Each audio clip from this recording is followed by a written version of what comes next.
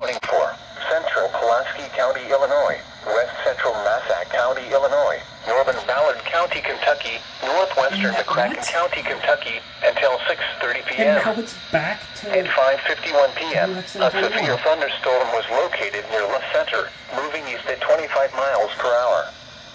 Expected hazards include quarter-size hail, this is a radar indicated so threat. The this. the following doesn't. Expected Damage to vehicles is expected.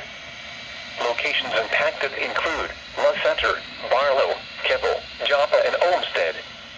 Repeating, a severe thunderstorm warning has been issued until 6.30 p.m. for the following counties in Illinois, Massac, and Pulaski, and the following counties in Kentucky, Ballard, and McCracken.